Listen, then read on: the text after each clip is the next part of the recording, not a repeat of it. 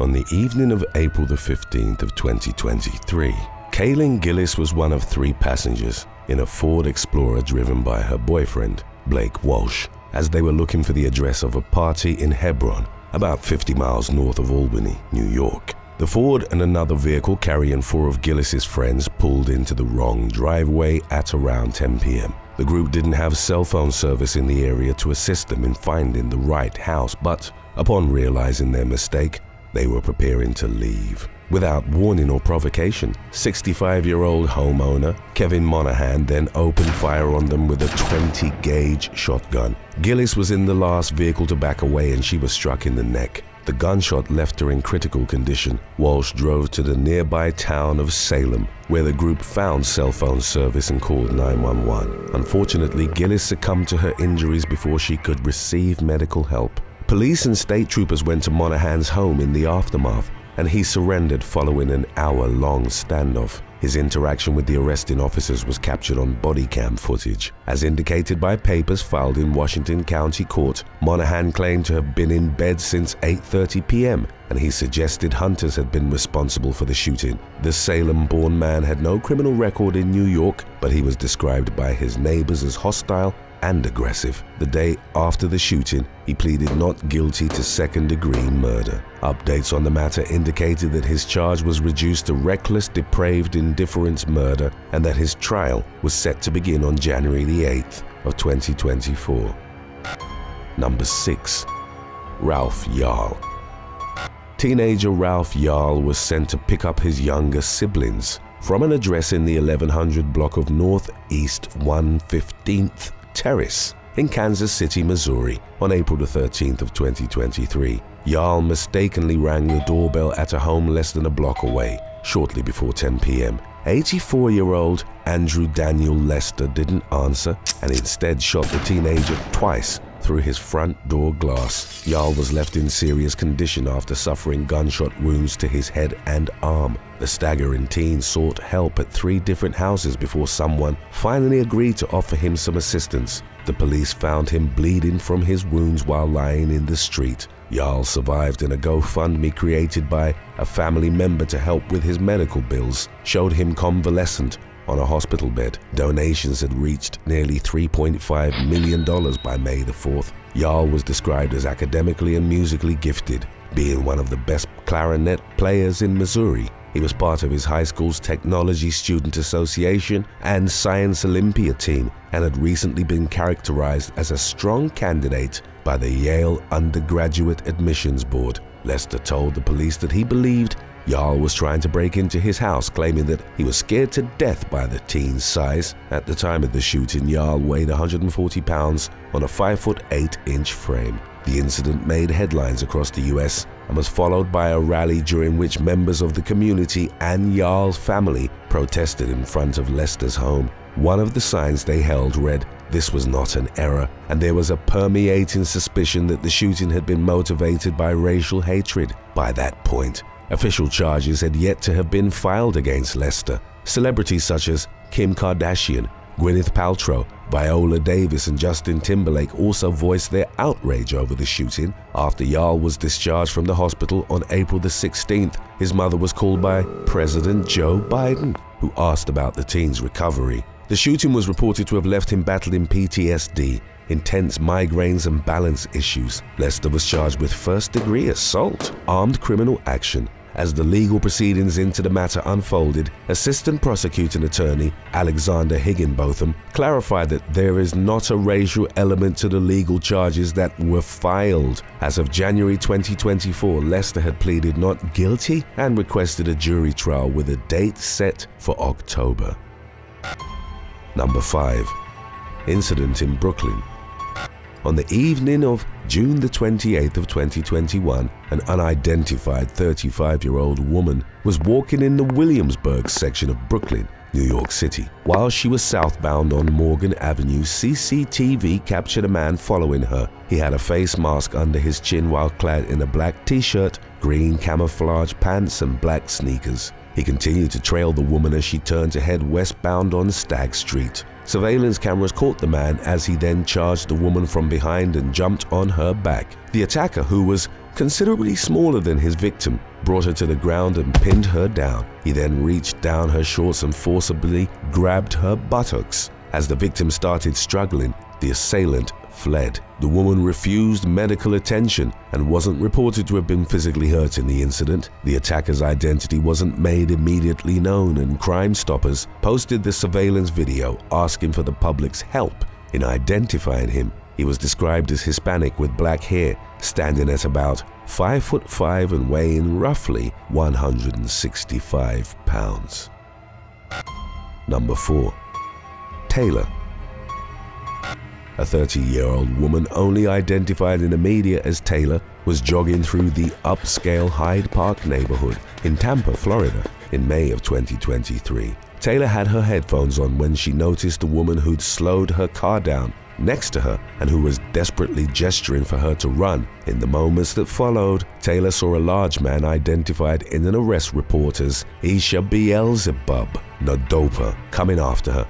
Nadopa quickly caught up with Taylor, dragged her to the ground by her ponytail, and began punching her in the face. He reportedly laughed as he assaulted the woman. Charles McKeon, a Tampa attorney who was out having a meal with his family, saw what was happening and later described the situation as Nadopa just wailing on the victim. McKeon fired a shot from his pistol, for which he had a concealed carry permit. Nadopa wasn't struck by the gunfire, and in the moments that followed, turned his attention on McKeon. He struck the man in the face, causing him to fall backwards and non-fatally hit his head on the sidewalk. McKeon's son, Dalton, then rushed to the scene, prompting the Nadopa to flee the area. Taylor suffered a broken nose, a concussion, bruises, and abrasions. She spoke to WFLA in the aftermath with her face still bearing markings from the attack. Regarding the heroic intervention of the McKeons, Taylor lauded their selfless actions towards which she felt speechless and overwhelmingly grateful. Nadopa, of no fixed address at the time, was arrested shortly after the attack and charged with aggravated battery with great bodily harm. He told the authorities that his middle name was Beelzebub, a demon in Abrahamic religions, and an alternative name for Satan in Christian tradition. The piercing stare that Nadopa displayed in his mugshot offered a slight glimpse into his deranged state of mind. Taylor would also tell the media, I have never seen a demon like I saw in that man. Nadopa's real name, however, was Michael Samdas. He was a man with a history of mental illness who'd disappeared from his home in Canada in September of 2019. The 44-year-old had abandoned his family and job, leaving without his car, laptop or cell phone. There was no activity on his bank account and for years his family had been looking for him, offering a reward of $25,000 for information. Prior to leaving his home, Samdas was known to talk to himself and have violent outbursts towards family members in what loved ones described as Dr. Jekyll Mr. Hyde-like situation. Number 3. Alex Mixon on March the 1st of 2019, a driver in Phoenix, Arizona was shot dead by another while they were both stopped at a red light. 26-year-old Alex Mixon was in a Dodge pickup heading west on Thunderbird Road near 30th Street. He encountered 30-year-old Nicholas Elliott who, without warning or any obvious provocation, brandished a firearm and shot him in the chest. Phoenix police subsequently determined that Elliott had opened fire on Mixon for the simple fact that the latter had looked in his direction. After Mixon was shot, his truck left the roadway, clipped a power pole and went through a wall. He later succumbed to the gunshot wound in a hospital. The police initially believed he'd died in a single car crash before an autopsy revealed he'd been shot, and detectives thus started investigating the incident as a homicide. They identified Elliot as a suspect in July following an anonymous tip. He'd reportedly been overheard boasting about shooting someone in the face at an intersection for giving him a dirty look. Elliot was arrested on September the 26th of 2019. He was interviewed by detectives and reportedly admitted that he'd been involved in an argument at a red light, but claimed he didn't remember if he'd fired his gun. However, witness testimonies, including from people to whom he'd boasted about the crime, pointed to him as the shooter. He was arrested on charges of first-degree murder, aggravated assault, misconduct involving weapons, and drug possession. Elliot was reported to have told the police that if he could go back in time, he would take the incident back. Today's topic was requested by Wombo Rails. If you have any other topics you'd like to learn about, subscribe and let us know in the comments section below. Number 2. Aisha Waris On the night of February the 26th of 2023, Englishwoman Aisha Waris was returning home in Harlesden in the northwestern London borough of Brent. Warris was walking along Minute Avenue when 22-year-old Afghan immigrant Gulwali Stanekzai intentionally rode his bicycle into her. He then repeatedly punched the woman who he'd never met before in the head and shoulders. The attack went on for about a minute before Warris was able to break free. Stanekzai went after her and struck her again, forcing the young woman to cover her face. To escape her crazed attacker, 23-year-old Warris ran towards the home of neighbor Richard Jarman. She approached the house pursued by Stanekzai. She pleaded with him to stop hurting her but was ignored as the man attacked her a third time. Jarman and Warris eventually went into the former's home and locked the door behind them. Jarman then told Stanekzai, you're on camera, referring to his doorbell surveillance system. Seemingly undeterred by that aspect, Stanekzai took his anger out on a Toyota Prius parked in the street, causing several thousand pounds worth of damage. Stanekzai was then captured by Jarman's doorbell camera, delivering a number of run-in kicks into the door. He proceeded to use his bike lock to smash a glass pane on the door and then the camera. In the meantime, Warris had spoken on the phone to a friend who contacted her father, Abdullah Khan. The latter, accompanied by his other daughter, drove to the address and confronted Stanekzai outside. Security footage captured Stanekzai attacking Khan as well. He punched the man several times and dragged him through the road before ultimately fleeing the premises. Khan and Warris survived their respective assaults. The former was left with a black eye and a broken tooth, while his daughter suffered a bruised lip and a swollen nose as well as bruising to her chest, shoulders and face. While her injuries were mostly external, Warris struggled afterwards with the psychological and emotional ramifications of the attack, including her being too scared and worried to leave the house. Stanekzai had arrived in the UK from Afghanistan as a teenager, alone. In 2016, he'd been in and out of immigration centers and was homeless at the time of the attack. He pleaded guilty to two counts of assault and two counts of criminal damage in May of 2023, for which he was jailed for three years. If these unprovoked attacks aren't freaky enough for you, then dive right into when being a postal worker goes wrong, coming up right after number one. Number one, Ethan Hagler.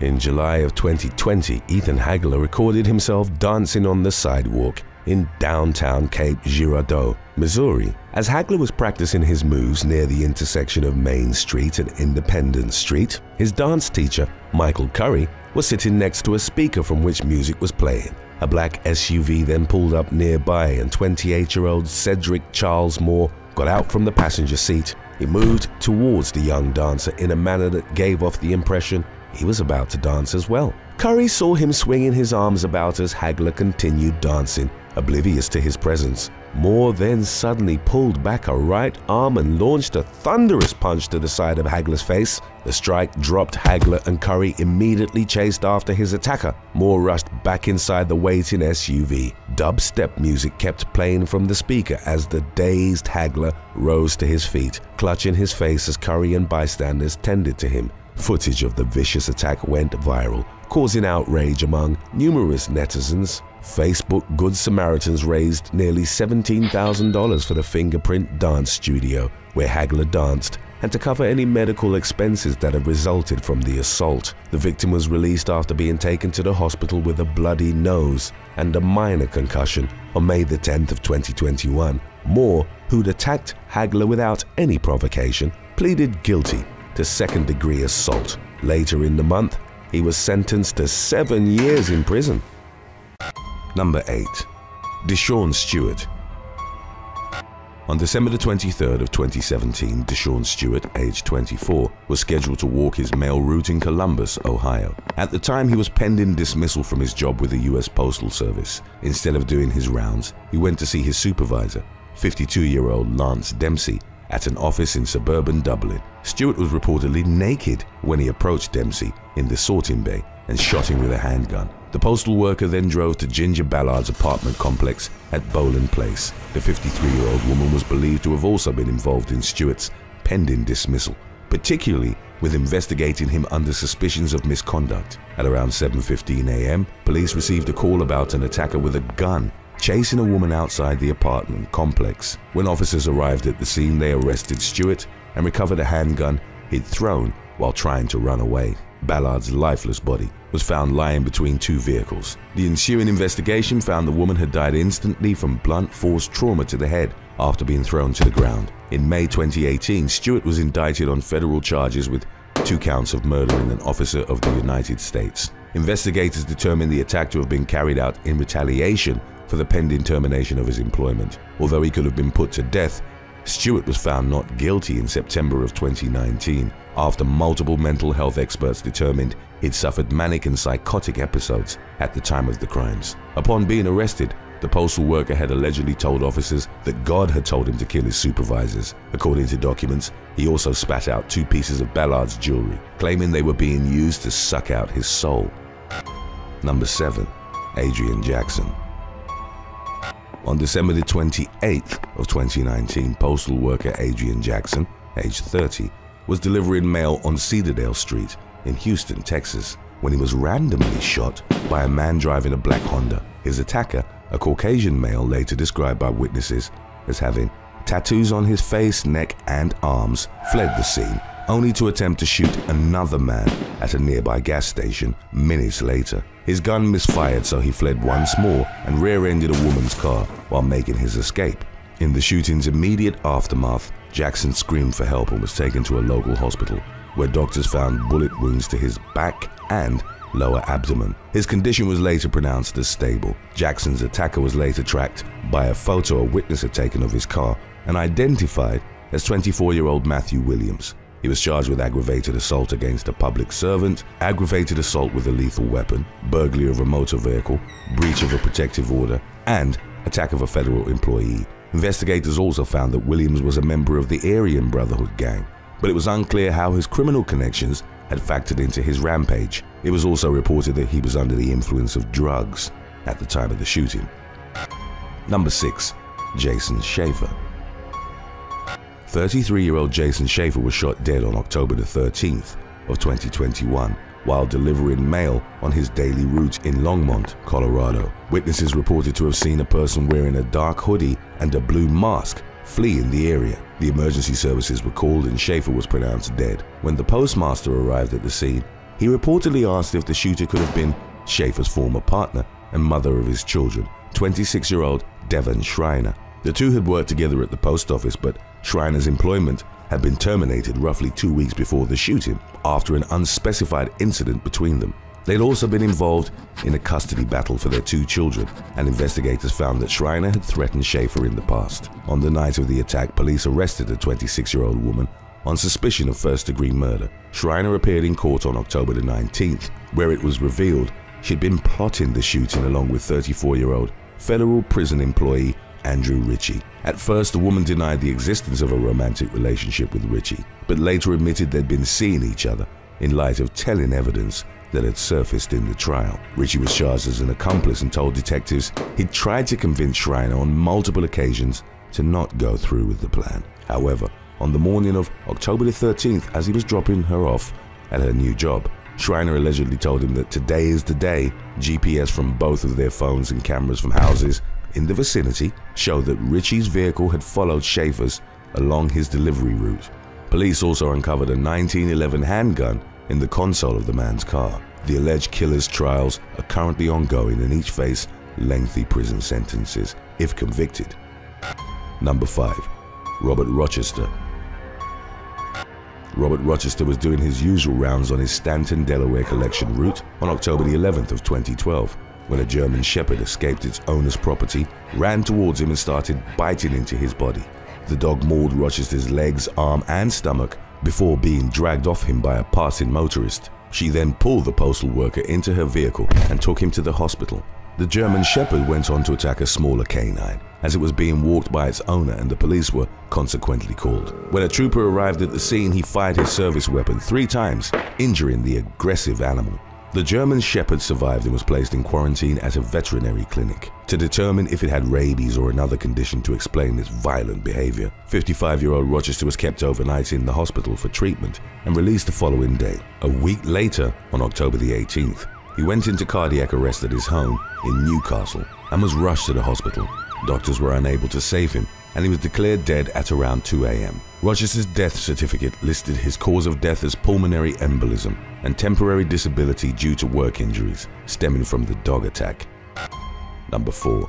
Graham Bennett On July the 15th of 2013, due to a shortage in staff at the Royal Mail in Lincoln, England, 47-year-old Graham Bennett had to go out and make postal deliveries, despite his job being in the sorting office. His managers assigned him to delivery that day as one of his colleagues was having some time off. Temperatures in the area had risen to 81 degrees Fahrenheit while Bennett was out working the route. He was about halfway through his deliveries when he stopped to rest in the shade, next to a block of flats. Residents subsequently found him keeled over in a small patch of shade by the entrance and tried to resuscitate him while calling the emergency services.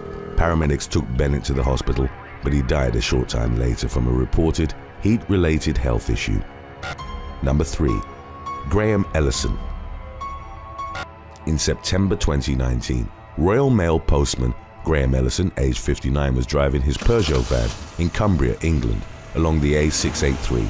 He was going to collect mail from a postbox when he encountered a horse and carriage. He slowly overtook it, but instead of going back in his lane, Ellison remained on the wrong lane as he approached a blind bend. With the intention of pulling into a lay-by, 27-year-old Oliver Evans, a police officer off duty, was traveling on his motorbike and came around the blind bend in the direct path of Ellison's van. He tried braking, but was unable to avoid the collision. Evans was thrown off his bike and suffered severe head and spine injuries. Several passers-by and even Ellison himself made efforts to save him, but paramedics pronounced him dead at the scene. In court, the former postman admitted to causing death by careless driving and was jailed for 32 weeks in June 2021. He was to be banned from driving for two years upon his release. Number 2.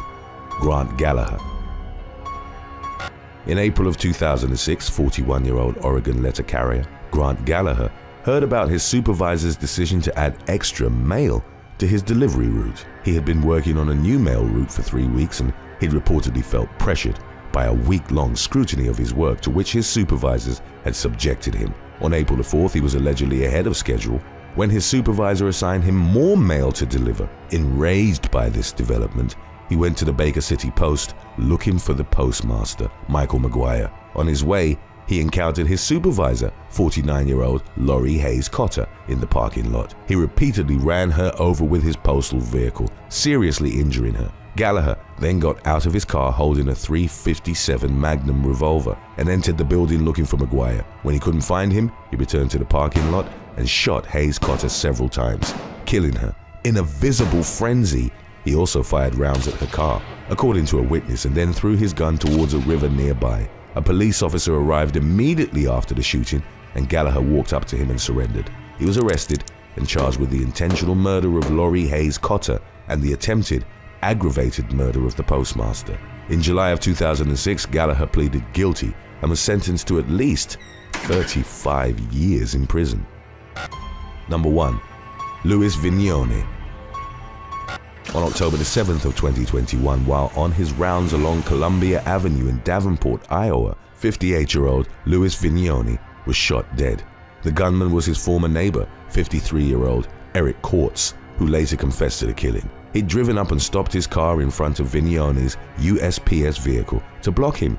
Courts then got out of his car and proceeded to shoot at the postal worker several times. After Vignoni had collapsed to the ground, Courts dropped the murder weapon, entered his vehicle, and drove to the Carnegie Borough Police Department where he surrendered to the authorities. A contractor working on a house nearby had heard the gunshots and rushed to help Vignoni, but to no avail. He was declared dead at the scene after sustaining multiple gun wounds, including some to his head. In his confession, Courts told the police he and Vignoni used to be neighbors in Pittsburgh, Pennsylvania, and that he believed the postman had poisoned him and his family with cyanide when they lived close to each other. Another neighbor of theirs stated Courts had told them something big was going to happen and that the whole city would hear about it. After appearing in court virtually, Courts faced charges of killing a federal employee, for which he could ultimately be given the death penalty. Thanks for watching. Would you rather slap your mother-in-law for $100 or let her soccer kick you in the head for a thousand? Let us know in the comments section below.